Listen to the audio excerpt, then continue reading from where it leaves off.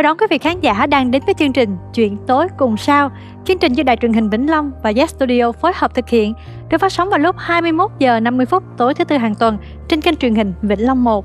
Ngày hôm nay Minh Ngọc sẽ cùng với quý vị khán giả gặp gỡ một nghệ sĩ được đông đảo quý vị khán giả yêu mến ở cả sân khấu kịch và truyền hình với tài năng và giọng cười đặc trưng. Xin mời quý vị khán giả hãy cùng gặp gỡ nghệ sĩ Mai Dũng. Mai Dũng xin à, kính chào tất cả quý vị khán giả đang xem đài. Như quý vị khán giả cũng biết đến nghệ sĩ Mai Dũng qua rất là nhiều vai diễn kịch truyền hình. Anh có nhớ được mình bắt đầu bước chân vào à, nghệ thuật khoảng năm bao nhiêu tuổi không ạ? À? Khi vừa tốt nghiệp phổ thông á là dạ. anh thi vào trường nghệ thuật sân khấu rồi. Dạ. Thì anh nhớ năm đó thì là năm 85. À, thì học 4 năm thì năm 89 là anh tốt nghiệp. Dạ. Khi anh tốt nghiệp á, thì à, anh về đoàn ca múa tỉnh Cửu Long á là biểu diễn mà cái thời điểm đó là thành phố Hồ Chí Minh này là rất là nhiều người coi nhưng mà về tỉnh thì rất ít người coi đó yeah. Dạ. nên thành ra khi mà về đoàn tỉnh được một năm mà là chịu hết nổi rồi là anh nghĩ không có làm nữa anh về về lại Sài Gòn có nghe bỏ nghề nửa chừng nữa.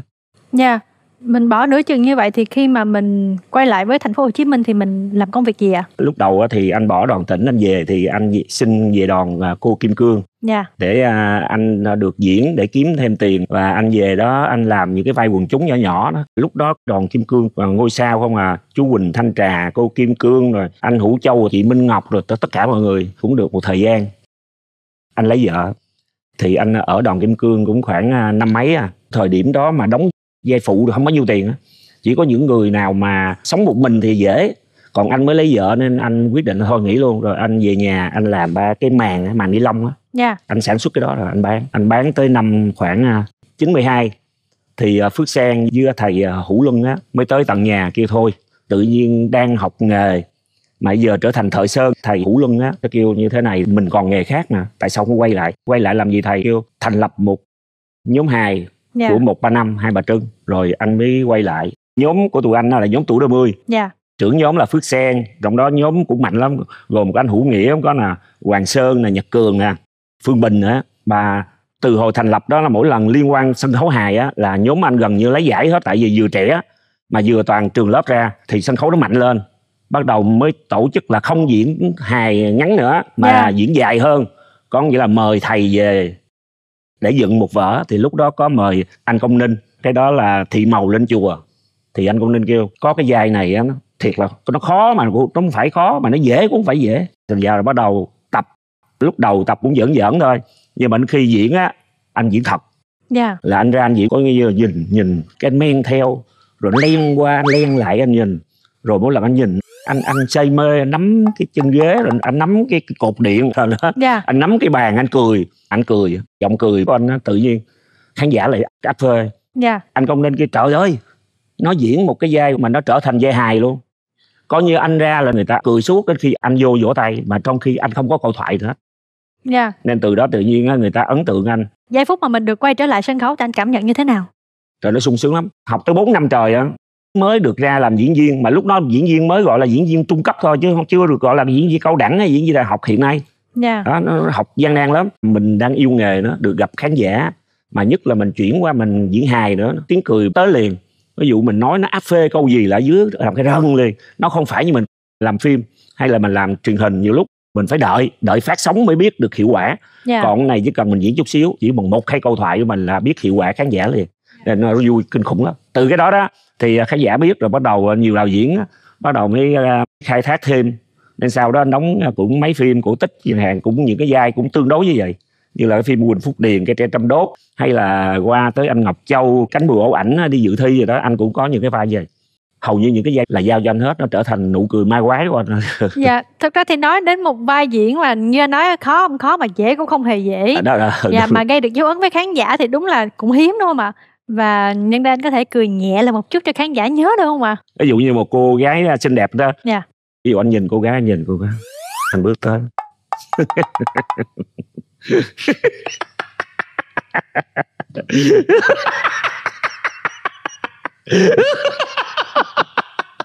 Đó chỉ vậy thôi Dạ, yeah. nhưng mà em thấy là anh nó không thoại thôi chứ nụ cười của anh chính là thoại của anh rồi. nó nói được rất nhiều điều. Và em muốn hỏi thêm một chút xíu là cái giây phút mà anh nhận cái vai đó anh có cảm thấy gì chạnh lòng không mà tự nhiên cái mình đàn ông rất là tử tế như vậy mà mình bị giao cho một vai như thế thì mình phải buồn chứ đúng không anh? nói chung là là mà không phải à, anh anh buồn vì cái vai nó nhỏ hay là gì đâu yeah. Dạ. mà anh thấy nó hơi khó nó khó ở chỗ là những bạn khác nó có cái vai mà khi tác giả viết rồi cái vai mà nó hay rồi rất là dễ diễn diễn không hay đi thì nó tròn vai người ta cũng còn hiểu yeah. Dạ. còn trong khi anh chỉ lướt qua sân khấu thôi thì nó rất là nguy hiểm nguy hiểm ở chỗ là nó càng ít nó càng khó nữa để thể hiện để người ta nhớ mình mình chỉ sợ thôi mình nghĩ tại sao lại khó với mình quá chứ thực sự ra anh không có ngại cái chuyện là tại sao mình đã, đã từng làm vai lớn rồi mình làm vai nhỏ anh không ngại điều đó mà anh ngại là làm không tròn vai thôi yeah. Dạ. tại vì nó không tròn cái vai nhỏ đó người ta lại chê nữa người ta lại chê trời ơi đưa có chút xíu mà mà khai thác không nổi đó mình chỉ sợ vậy thôi chứ hồi anh thi nha hồi uh, tốt nghiệp á thầy trần ngọc giàu là thầy chủ nhiệm lớp anh lúc đó là mời anh tại ở ở, ở lớp anh đóng vai chính không à? hoặc là đóng phản diện thi á có một buổi thi có vở lê long đỉnh ngoại triều anh là đóng vai lê long đỉnh yeah. Dạ. thì à, người bạn của anh bây giờ nó là sếp của một cái đoàn à, siết đó mới nói là thôi mày dũng ơi mày thi toàn vai chính không à cái vai này tao hợp để tao cái mình nói ủa giờ tao thi dây đi tôi kêu mày thi cái dây kia đi. Xong mình mình mới hỏi thầy thầy bây giờ sao thầy? Cái thầy vào cái có còn cái dây thái giám mày coi mày dám chơi không? Cái cái dạ được. Dạ. Yeah. anh đóng cái dây thái giám thôi. Trong cái lê long đỉnh ngoại triều á anh đóng xong rồi á anh đóng mỗi lần anh ra là người ta vỗ tay á. Yeah. xong thầy ra thầy chấm luôn cái đó. Yeah. rồi từ đây về sau em nên uh, làm hài đấy chứ đừng đóng chính kịch nữa có nghĩa là anh mất luôn luôn cái cửa mà đi đóng chính kịch nữa mà anh chuyển qua diễn hài kịch là từ từ cái vô tình người bạn anh xin đổi vai mà anh trở thành nhà diễn viên hài luôn á. Dạ ừ. mình quen đóng chính kịch rồi tự nhiên mình đóng hài mà được đón nhận quá mình cũng ngạc nhiên đúng không ạ? À? và phải chăng là vì mọi thứ đến với anh là một cái duyên? Thì anh đến với nghề đạo diễn cũng là duyên đúng không ạ? Trong thời gian làm bên sân khấu một ba năm với phước sang á. Dạ có một đạo diễn là cũng là dây anh anh là anh Trần Hưng.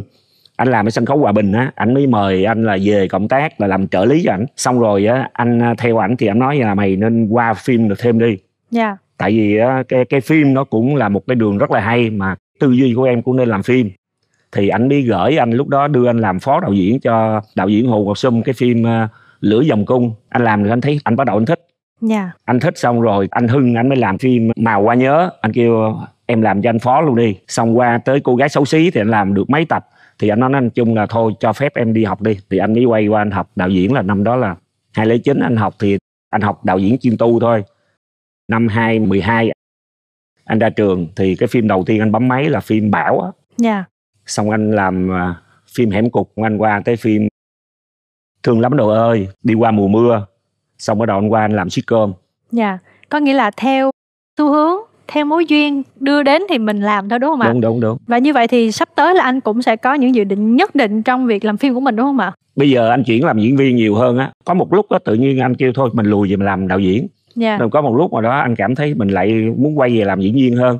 Tại vì cái đạo diễn với diễn viên á thấy vậy á nhưng mà đạo diễn quá nhiều việc rất là nhức đầu nha diễn viên á đỡ ở chỗ là mình chỉ chịu trách nhiệm vai diễn của mình thôi yeah. mình làm sao cho tròn vai và nếu mình làm tốt nữa thì khán giả xem họ đồng ý hơn họ công nhận hơn. Còn à, công tác đạo diễn khó hơn ở chỗ là tất cả nhiều thứ nhiều khâu. Thậm chí là khi cái khâu mà nhận kịch bản nữa là phải ngồi đọc nữa. Đối với anh á khi anh nhận một cái phim thì trước đó anh đọc đã gần một tháng rồi đó để anh chỉnh sửa những gì cần thiết để anh hỏi hết sẽ lớp hết. Rồi anh đi anh đi chọn cảnh xong anh đi bấm máy. Anh quay xong hết anh vô phòng dựng anh ngồi anh dựng. Anh không để cho người khác dựng. Yeah. anh ngồi anh dựng hết rồi anh giao phim anh mới nhận phim khác. Nhưng mà có rất là nhiều vấn đề mà ở bên ngoài tác động hay là nó tác động cả nhiều phía và mà tự nhiên mình nản. Mình nghĩ là có như cái này bỏ như quá nhiều công sức mà họ không nhìn nhận ra. Nên tự nhiên mình thôi, mình làm diễn viên đi để khán giả nhìn nhận mình. Tại vì đạo diễn quá áp lực đi. Nha. Yeah. vì thế là trong từng giai đoạn cuộc sống thì mình sẽ chọn cho mình một vai trò phù hợp.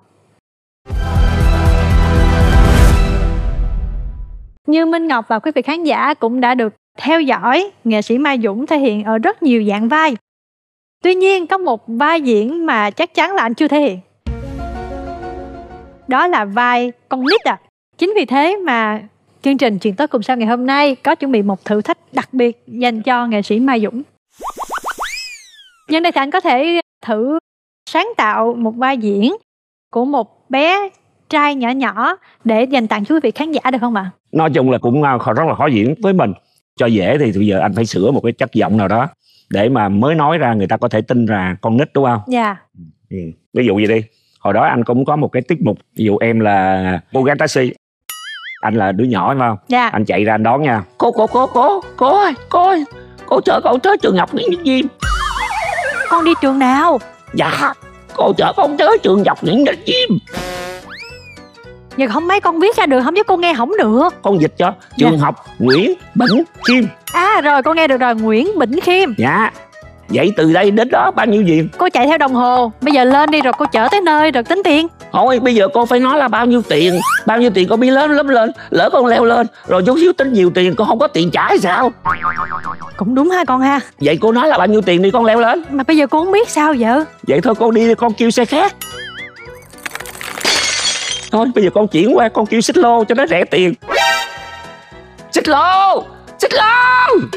Dạ chở con đi trường học đi bắn chim cái gì? Dạ không phải đi chở đi bắn chim mà chở con đi trường học nguyễn bắn chim dạ. Dạ dạ dạ. Con đi liền. Vậy cô mất khách rồi. Thôi con con đi với cô. Bên kia đưa tiền ít hơn. Bên kia nói có 200 đồng à. Trong khi cô lỡ đòi con không đủ tiền trả. Dạ. Vậy thôi con con đi với cô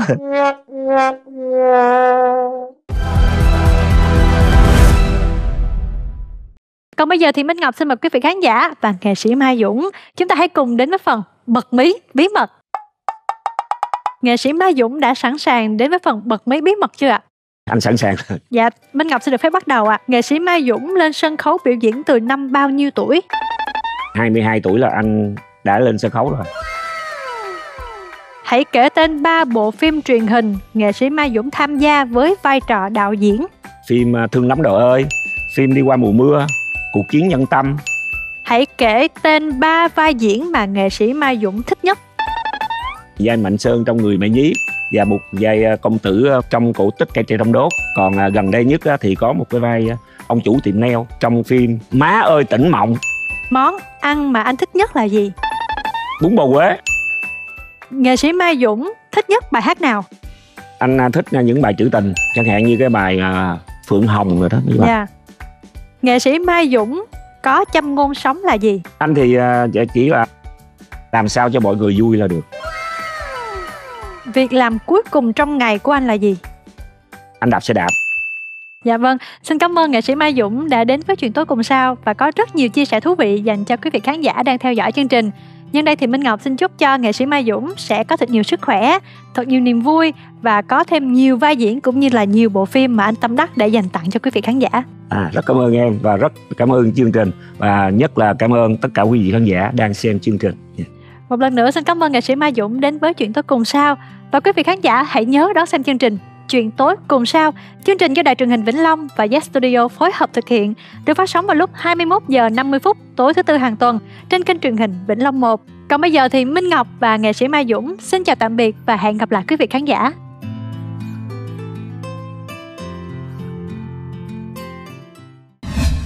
Xuất thân từ một gia tộc nghệ thuật lừng lẫy, là người thầy của nhiều nghệ sĩ nổi tiếng, nghệ sĩ ưu tú Bạch Long vẫn luôn miệt mài cống hiến và truyền lửa nghề cho các bạn trẻ. Nguồn động lực yêu nghề, yêu sân khấu, yêu nghệ thuật cải lương vô trong máu trong tim rồi. Và bắt đầu sẵn sàng diễn diễn những cái vở lịch sử Việt Nam và những cái vở thần thoại để đưa cải lương đến với các cháu thiếu nhi. Mô hình mà Bạch Long đang làm là vẫn có kế thừa vẫn có đào tạo để giữ gìn bộ môn nghệ thuật cải lương tuồng cổ để nó đừng có bị mai một.